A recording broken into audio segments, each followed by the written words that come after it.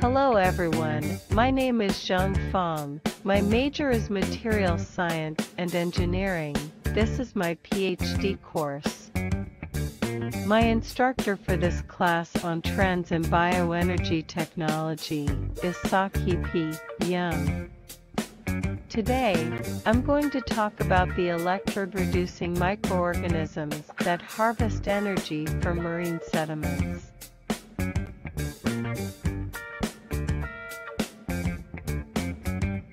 My presentation consists of four parts, namely introduction, experimental conditions, growth process, experimental results. First, why harvest energy from marine sediments, and why reduce microbes with energy harvesting electrodes. 1. Since organic matter, stored in anoxic subsurface environments and in aquatic sediments, represents a huge potential source of energy, but most organic matter cannot be converted into useful energy with current technology. 2. To promote bioremediation of organic pollutants in subsurface environments.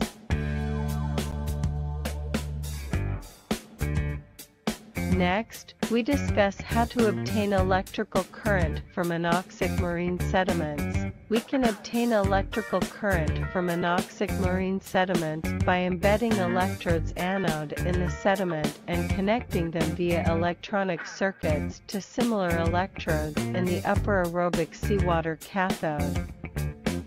So, what is the magnitude of the current drawn? Even with a simple unmodified graphite electrode, the magnitude of the current produced 0.01 watt per square meter is theoretically sufficient to power electronic instruments deployed at sea.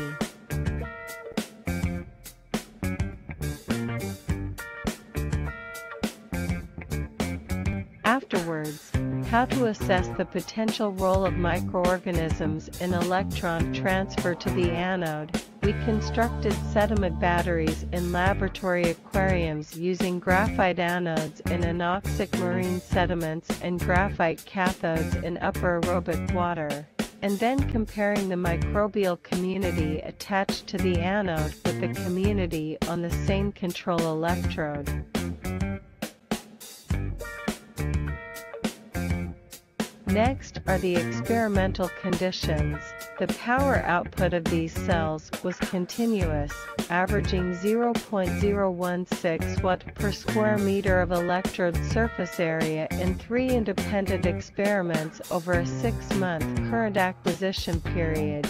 These control electrodes have been placed in the same sediment for the same length of time but are not electrically connected to the electrodes in the overlying water.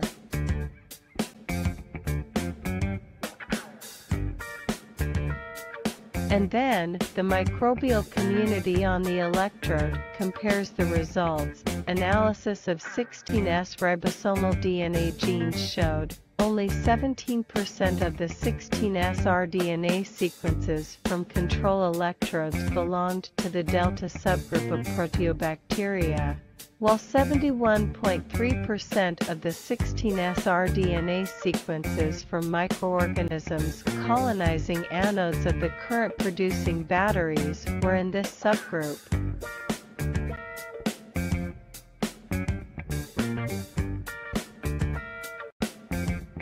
Next, the growth process. The 70% increase in proteobacterial sequences is due to a single bacterial group in the Geobacteraceae family, a group of anaerobic microorganisms that combine the oxidation of organic compounds with the reduction of insoluble iron, 3 oxides.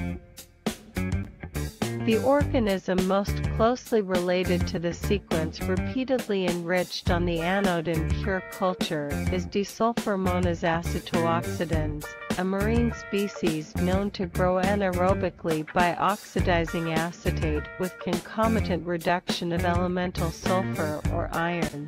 3. Microorganism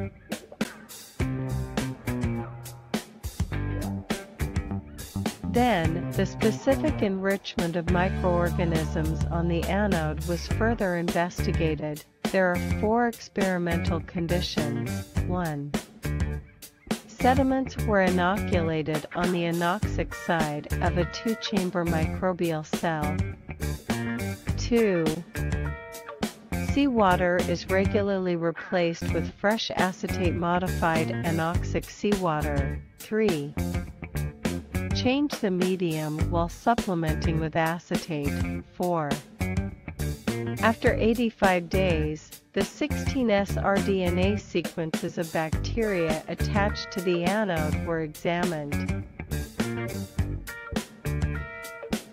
Next is the experimental result. 1.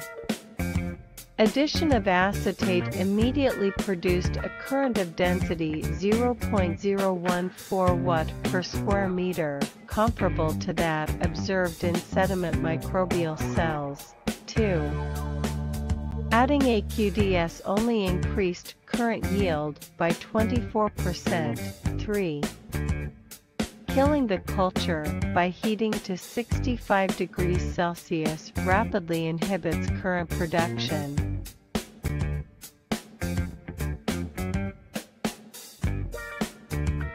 Other researchers found that D. acetoxidans conserves energy to support growth from electron transfer to the electrode, as evidenced by the increase in current and the growth of the organism over time Figure 2. The increase in cellular protein is accompanied by acetate depletion and electron collection. In the absence of current acquisition, cultures containing electrodes and acetate did not grow. When it is considered that some acetate is required for cell biosynthesis, this finding demonstrates that D. acetoxidans was growing because of acetate oxidation coupled to reduction of the electrode.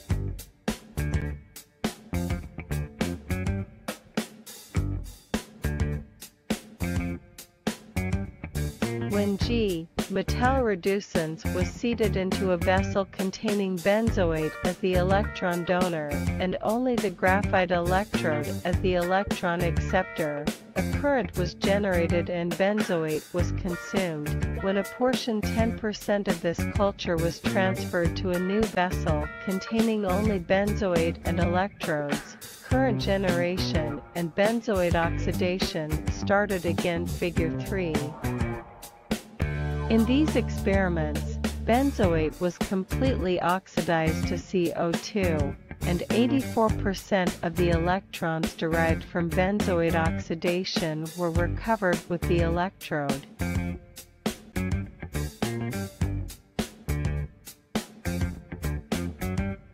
In the end, I want to ask three questions about this article. 1. What is the magnitude of the current that can be obtained from anoxic marine sediments, even using a simple unmodified graphite electrode? 2.